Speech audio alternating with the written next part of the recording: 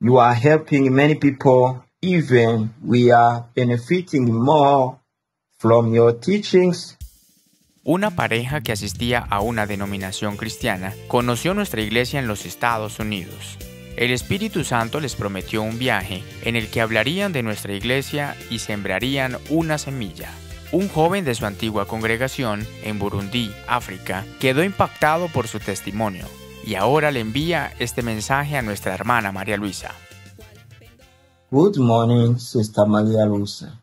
My name is Fabrice Nijimbere from Burundi in the city of Bujumbura. In 2021, I met Craig and Mavis when they were in the missions. Later, they started to share with me some testimonies from the church and some Bible studies. I was touched by the move, the great move and the manifestation of the Holy Spirit in the church. And I wished to follow the teachings. Now I'm sharing the teachings with others and we are gathering in the place in one room being 11 people and we are even getting multiplied easily and quickly.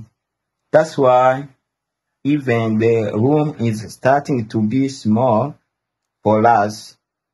I hope to get the Church of God, Ministry of Jesus Christ International, even here in Burundi.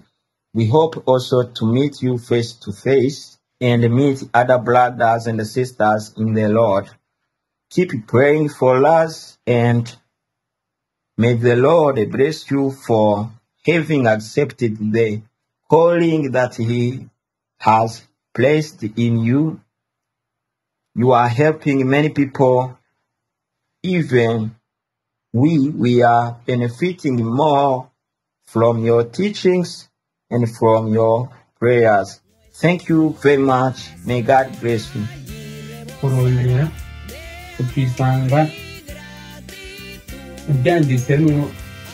Igashobora kukujyana n'abandi kugira ngo uh, rya rindi kubera ko nganira n'abantu baba bafise abagenzi biganye bakora muri ligue hariya mu bintu bya bibiri